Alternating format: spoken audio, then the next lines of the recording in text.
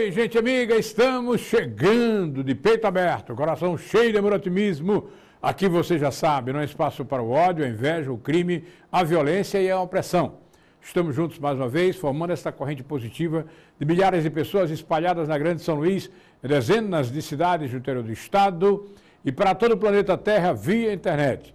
No ar, a partir desse instante, mais uma apresentação alegre para cima, otimista vibrante do nosso Maranhão TV nesta sexta-feira, dia 18 de abril de 2013.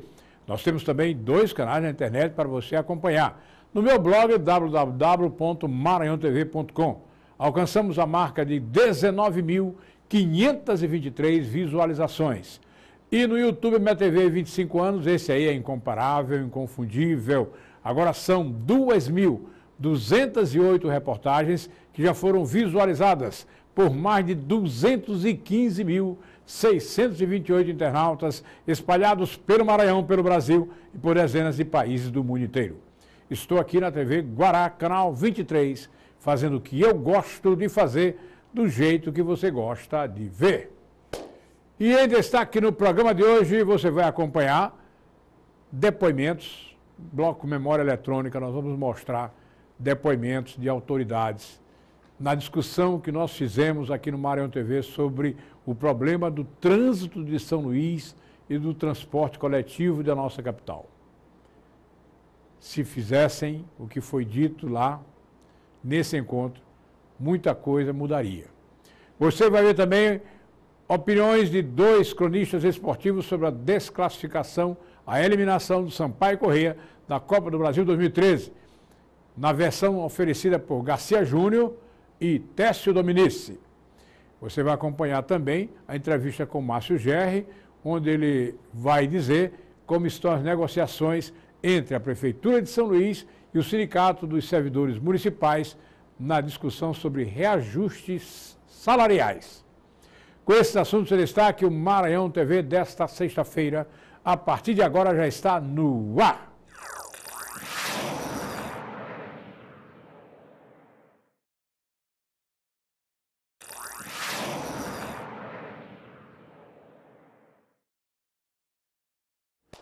Pois é, amigo do Maranhão TV, estou de volta fazendo o que eu gosto, do jeito que você gosta. Em mais outra apresentação do nosso Maranhão TV. O primeiro e único programa da televisão maranhense há quase 29 anos no ar. Incomparável, inconfundível e pode passar a régua. E o primeiro destaque do programa de hoje é o bloco Memória Eletrônica It's Now. E no bloco Memória Eletrônica de hoje nós vamos mostrar uma reunião que aconteceu com várias autoridades para discutir o trânsito e o transporte coletivo da nossa capital. Problema que continua ainda muito mais acentuado nos dias de hoje. Nesse encontro que aconteceu na Associação Comercial, no auditório da Associação Comercial, várias personalidades estiveram presentes você vai acompanhar é, depoimentos delas sobre um vídeo que nós exibimos naquela oportunidade sobre o BRT, BRT. Nada comparado com o VLT que o ex-prefeito João Castelo acabou tentando implantar e que o Edivaldo Holanda Júnior, atual prefeito, não, não vê como implantar o VLT, que, segundo ele, nem projeto teve para sua, para sua utilização. Embora a prefeitura tenha gasto algo em torno de 7 milhões de reais com o que veio está se acabando ali no, no anel viário. O Marcelo Linhares, à época, ele era assessor do Departamento Estadual de Trânsito, o DETRAN, e opinou sobre o que viu e ouviu sobre o BRT. Confira.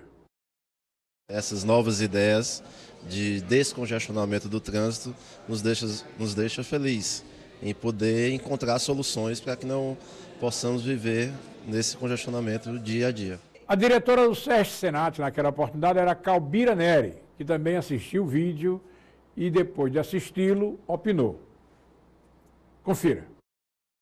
O sistema BRT ele vai trazer melhorias significantes para o trânsito da nossa capital. E o sistema BRT hoje no nosso país é o de mais do custo menor e com mais é, é, progresso. O vice-presidente do Sindicato das Empresas de Transporte, Romeu Carvalho, também estava presente e deu a sua opinião sobre essa discussão, a discussão que foi feita naquela época, aquele ano, 2010, sobre essa alternativa de solução para o transporte coletivo da nossa capital. Confira. Aqui em São Luís, infelizmente, só se discute tarifa, né? Quando é para discutir é, o tema de transporte, só se fala em tarifa. E tarifa, para nós, ela está em quinto plano. Nós, nós queremos dar à população o transporte que ela necessita. E que a gente vê tanto em outras capitais e fica aqui é, sem poder agir, porque nós estamos na ponta da linha, nós somos operadores, né? E os recursos estão disponíveis, então falta só vontade política. O secretário municipal de Trânsito e Transportes naquela época era Clodomir Paz. À disposição dele, segundo ele falou, e você vai ouvir agora, era de que já a Prefeitura de São Luís pretendia implantar esse projeto aqui na capital e que já tinha até definição do primeiro trecho, o que acabou não acontecendo. Confira. A própria secretaria já tem estudos é, bastante avançados no sentido de é, implantar o primeiro trecho, ou seja, o primeiro corredor. É, nós vamos buscar os meios e esse corredor poderá ser o corredor é, da Jerônimo de Albuquerque, que começa esse, a nível assim, de, é, de continuidade é, de corredores, começa no São Francisco, é, na Castelo Branco, passa pela Colares Moreira, Avenida Jerônimo de Albuquerque, indo até a Guajajaras. O secretário das cidades do governo Maranhão, à época, deputado federal Pedro Fernandes, também esteve presente e deu a sua opinião sobre a aplicação, a utilização do sistema de transporte coletivo através do BRT. Confira. Eu sou daqueles que acreditam que a solução vem a partir da discussão dos problemas. Essa é uma oportunidade ímpar que nós temos de começar a discutir nossos problemas e um problema sério que é transporte. Transporte, principalmente da nossa capital, é tá um caos, né? Principalmente prejudicando os grandes é, trabalhadores, porque o grande volume de trabalhadores, porque eles dependem do transporte coletivo, que está todo engarrafado. Então nós precisamos dessas soluções e é com essas discussões que nós vamos encaminhar soluções. E a secretaria se coloca à disposição aí da prefeitura para discutir de todos os segmentos organizados. Nós queremos contribuir com essas soluções. O secretário de Infraestrutura naquela época era o deputado estadual Max Barros, atual primeiro vice-presidente da Assembleia Legislativa. Ouça o que disse Max Barros naquela oportunidade. Confira. Nós temos que partir para o que os grandes centros já, já fazem, nem tão grandes como São Luís. É o transporte de massa. Essa é a única saída para melhorar o tráfego, diminuir os custos, diminuir a poluição. E dentre as opções de transporte de massa, aqui eu, no meu entendimento, a que mais se encaixa no caso de São Luís é, é o BRT. Né? É porque ele tem as mesmas características de um metrô de superfície né? e o custo dele é muito inferior ao de um metrô de superfície. Então, o que, que acontece? Ele tem horário certo para chegar em cada parada, ele tem uma calha exclusiva para trafegar. A pessoa que sai de sua residência sabe que, por exemplo, 10 horas vai passar lá o BRT e que, vamos supor, daí a meia hora vai chegar no seu local de destino. Então, vai ter conforto, vai ter precisão em termos de horário e vai melhorar muito o tráfego, porque muitas pessoas que utilizam o carro hoje vão até priorizar o BRT em função do conforto, da precisão do horário, do custo menor do que enfrentar um trânsito engarrafado. Então, uma cidade do Porto de São Luís tem que pensar em transporte de massa.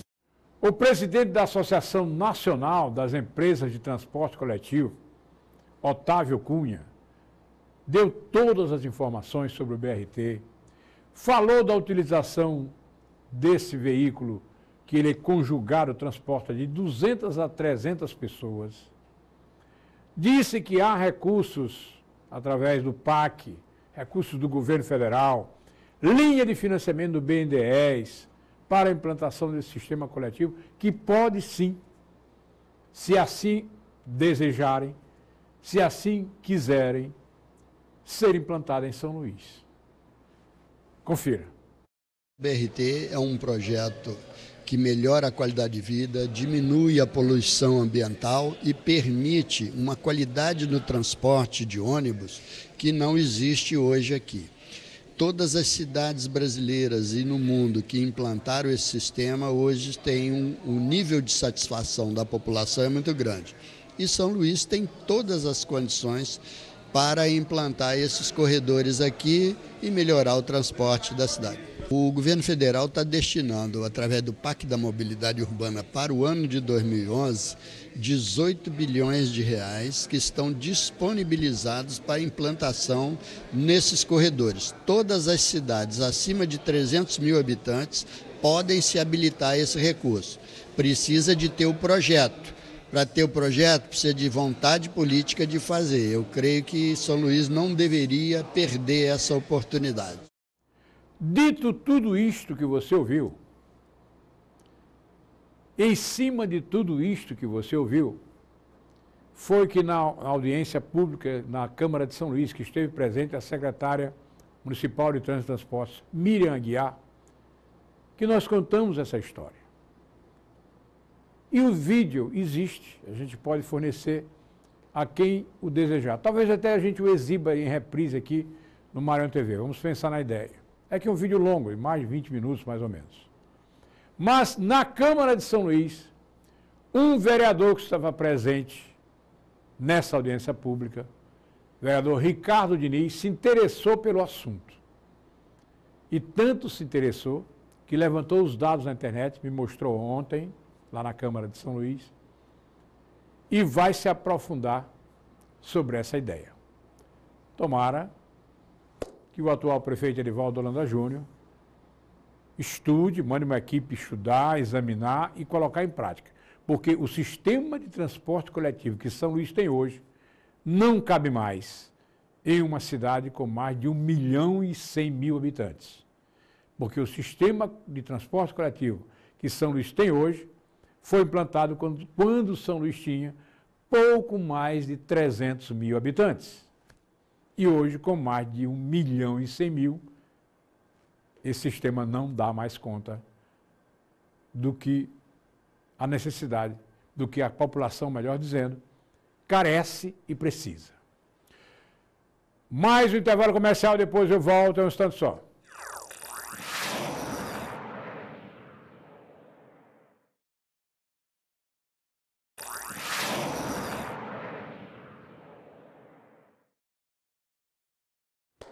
Pois é, amigo do Maranhão TV, estou de volta fazendo o que eu gosto, do jeito que você gosta. Tem mais outra apresentação do nosso Maranhão TV. O primeiro e único programa da televisão maranhense há quase 29 anos no ar, incomparável, inconfundível e pode passar a régua. Nós temos também dois canais de informações na internet. Você acessa o meu blog, www.maranhãotv.com. Só tem vídeo, não tem foto e legenda, é só vídeo. Temos agora 19 mil 523 visualizações. E no YouTube, minha TV 25 anos também é só vídeo.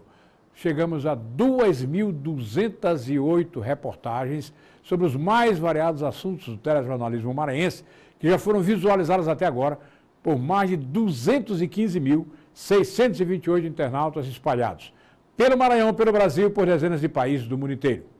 Estou aqui na TV Guará, canal 23, fazendo o que eu gosto de fazer do jeito que você gosta de ver. O assunto agora é Prefeitura It's Now.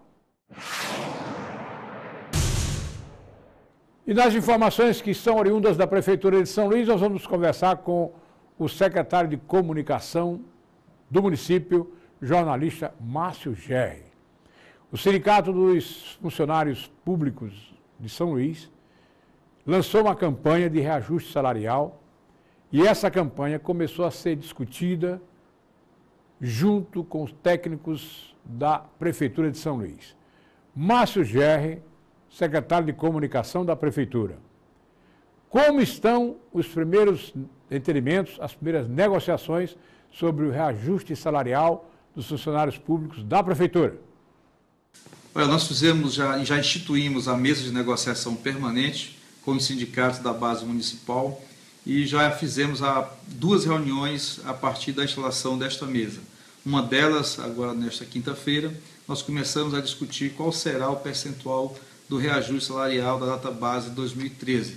É, nós avançamos nesse diálogo e voltaremos ao tema em uma nova reunião é, na segunda-feira às 16 horas. É um, uma perspectiva muito boa de um bom acordo entre a prefeitura e os servidores. A disposição do prefeito Edivaldo Landa Júnior, é, dito e várias vezes reiterada, de valorizar o servidor público municipal. E isso será feito. E uma das formas de fazer essa valorização é, é fazendo com que haja um, um, melhor, um padrão salarial é, progressivamente melhor mesmo com as adversidades que temos na, na situação da cidade, mesmo com as limitações impostas pela Lei de Responsabilidade Fiscal, já que neste momento a, o município de São Luís, avaliando-se o último quadrimestre do ano passado, ele, ele, ele passou do chamado limite prudencial, o que gera restrições, inclusive restrições para reajuste de salários. Secretário Márcio Gerri, qual percentual que os funcionários estão pedindo e qual a contraproposta da Prefeitura nessa mesa de negociações? A Prefeitura ainda não apresentou o seu, a sua contraproposta. Nós estamos estudando o tema, a, Secretaria é, do Planejamento Municipal, a Secretaria de Administração e a Secretaria da Fazenda, juntamente com um grupo de trabalho que, que o prefeito instituiu. Esse grupo inteiro está se debruçando sobre os números, sobre a situação real do município, para a partir disso é, apresentar ainda agora na segunda-feira uma proposta de reajuste aos servidores públicos municipais. Muito bem, vamos esperar que realmente haja um consenso em torno dessas discussões e que a prefeitura possa pagar algo que possa também ser agradável aos servidores públicos municipais. Na sequência, vamos falar de Sport It's Now. E no bloco de esporte, ainda repercute em toda a cidade, o clima ainda é de tristeza, abatimento pela desclassificação do Sampaio Corrêa da Copa do Brasil 2013 para o Campinense dentro do Castelão. A exemplo do que aconteceu com o Maranhão, que também foi desclassificado dentro do Castelão. A exemplo do Maranhão, que foi desclassificado porque o Jackson perdeu um pênalti dentro do Castelão o Sampaio Corrêa também, o craque do time, o jogador porque eu tenho a melhor admiração. Arlindo Maracanã também jogou fora a classificação do Sampaio Corrêa para outra fase da Copa do Brasil, ao perder um pênalti dentro do estádio do Castelão. O pênalti do Maranhão, cobrado por Jacques, foi defendido pelo goleiro. O pênalti do Sampaio Corrêa, cobrado por Arlindo Maracanã, também foi defendido pelo goleiro dos dois adversários, dos nossos dois representantes que, mais uma vez, são, ficam de fora da festa que é a Copa do Brasil. O jornalista e radialista Garcia Júnior opinou sobre essa desclassificação, essa eliminação do Sampaio Corrêa dessa competição que é um, uma festa do futebol brasileiro. Confira. A bola da vez era a bola do Arlindo Maracanã, do pênalti. 38 minutos, Sampaio 1 a 0 Aí que tivesse até um empate 1 a 1 Sampaio estava classificado.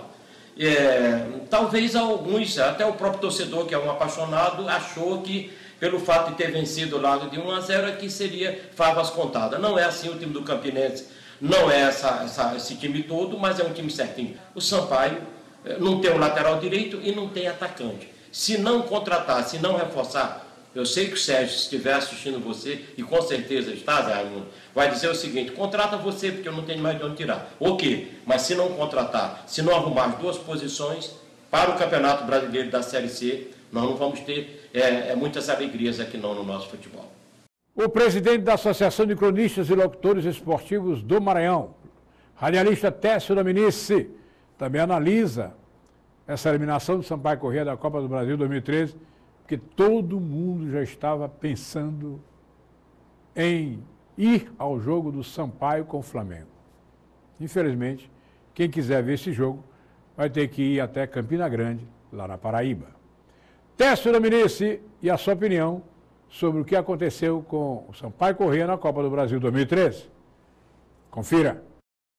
O Sampaio vinha numa partida com o Campinense de igual para igual. O jogo era realmente aquele, cada um mais preocupado com o outro, e aí acabou que o Sampaio Corrêa teve o benefício da sorte já 38, 39 minutos, quando um pênalti a seu favor. Ali, aquele pênalti acabava com o jogo. Até se não tivesse tido pênalti, Sampaio arrastava com 0 a 0 e se classificava. Mas com a chegada do pênalti e a perda, aquilo foi exatamente o que ninguém queria que acontecesse. E aconteceu de imediato. Na saída, o Campinense faz 1 a 0.